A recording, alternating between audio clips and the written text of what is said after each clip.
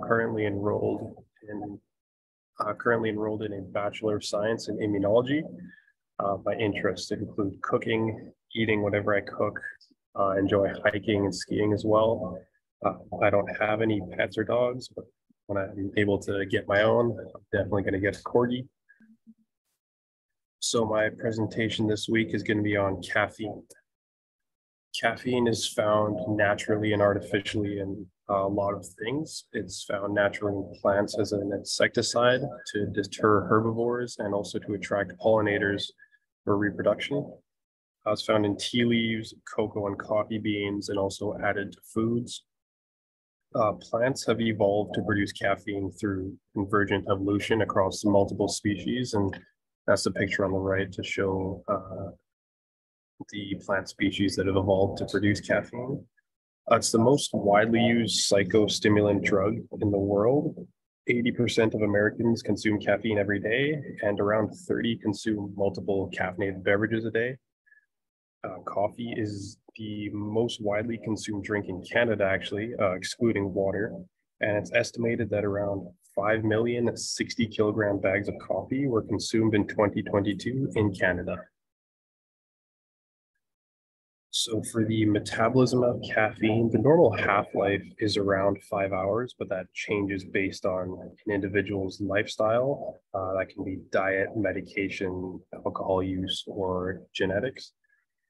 Metabolism of caffeine is increased by things like smoking, and it's decreased by things like oral contraceptives and pregnancy.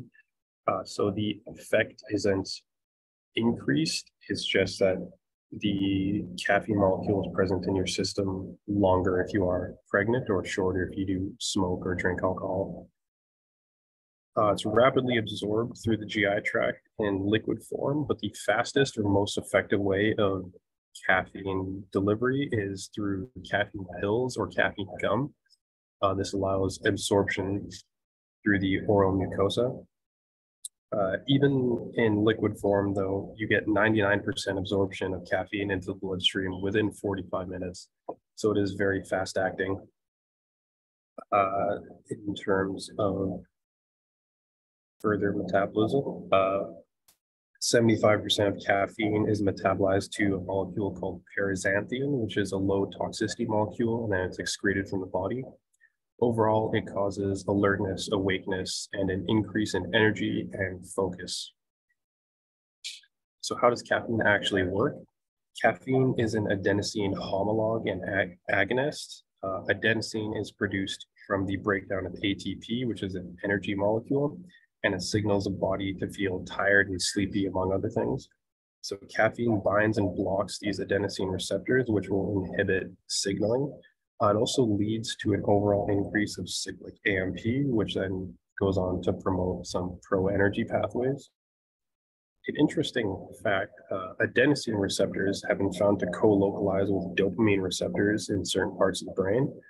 And this might be another explanation for how caffeine can increase uh, focus and attention, but these specific pathways still have to be studied more.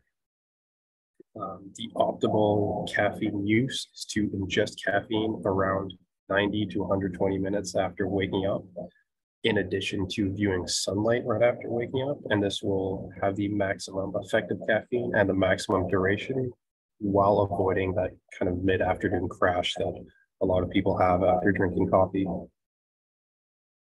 So, a few common caffeine misconceptions. Number one, caffeine is addictive caffeine isn't really addictive, but since it is a neurostimulant, uh, someone who habitually uses caffeine can develop a slight dependence. That being said, given the other stimulants people get addicted to, uh, caffeine is fairly mild, so any withdrawal symptoms are fairly light. Uh, number two, drinking coffee can give you cancer coffee and caffeine has never been shown to have a causative relationship with any type of cancer. Um, there is some suggestive evidence for caffeine use in bladder cancer, but the study uh, was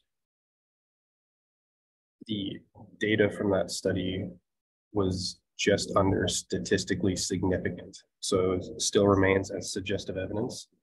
Caffeine use has also been shown to be inversely proportional to melanoma and oral cancer, but again, that study, the results were also just above statistically significant. Uh, number three, caffeine causes cardiac arrhythmias and hypertension. Caffeine's not been proven to cause any sort of cardiac arrhythmias. However, it does lead to a slight increase in blood pressure, which goes down to baseline within the next two days.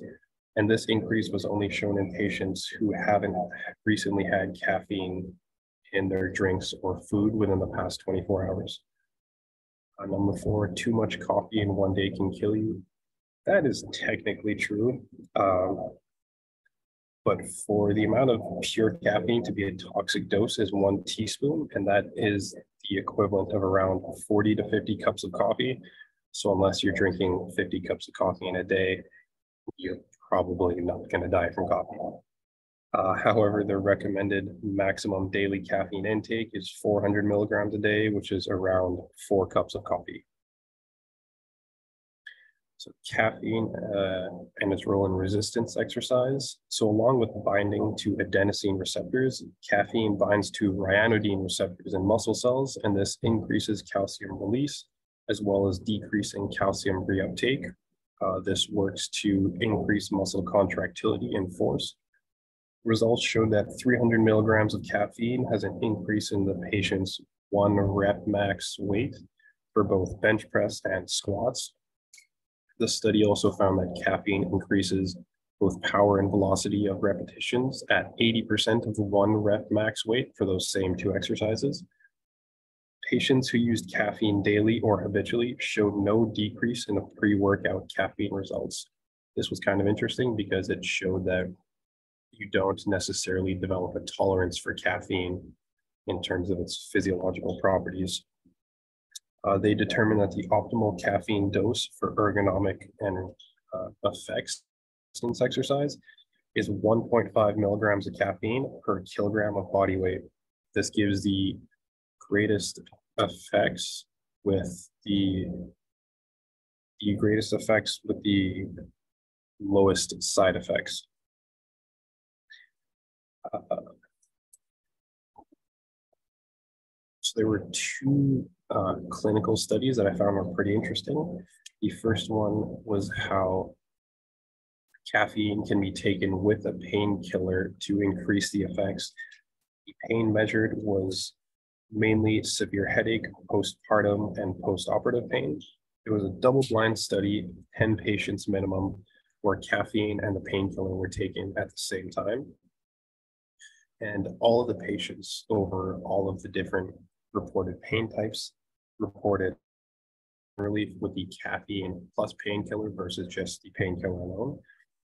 Uh, it's believed that the effect is mainly mediated through, again, adenosine receptor binding and blocking of pain receptors to decrease any pain inputs. Also, uh, caffeine will increase the blood flow, gastric blood flow, which will lead to increased drug uptake. And the second study is the role of caffeine in, in preventing Parkinson's. This was tested in mice. Caffeine was uh, given along with a drug called MPTP, which essentially gives mice Parkinson's and causes them to develop Parkinson's symptoms. So mice who had higher levels of caffeine along with the same level of MPTP showed less symptoms and less onset of Parkinson's. However, this hasn't been tested on any non-human primates yet, so there is room for further studies. And it's believed that, again, adenosine receptors are responsible for this.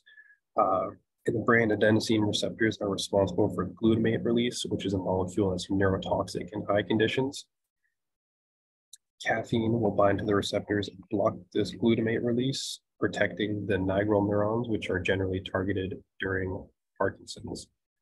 Uh, then the link at the bottom is for a podcast on caffeine by uh, Dr. Andrew Huberman, who's a professor at Stanford, and he explains really well how caffeine works and the other uh, physical and neurological benefits to using caffeine.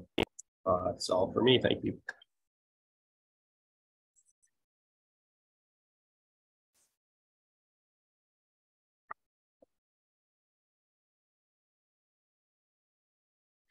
Thanks, Declan, for the nice presentation.